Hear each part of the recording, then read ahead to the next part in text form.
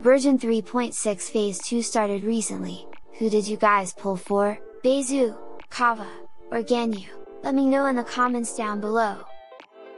Anyway, the highly anticipated version 3.7 should release on May 24, 2023. However, the special program livestream for 3.7 is set to air on May 12, which is on a Friday.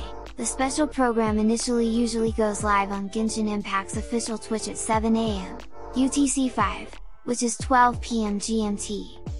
It then airs one hour later on YouTube. The special program, as usual, will contain information about any new characters, such as Kirara, the upcoming banners, event, quests, and much more.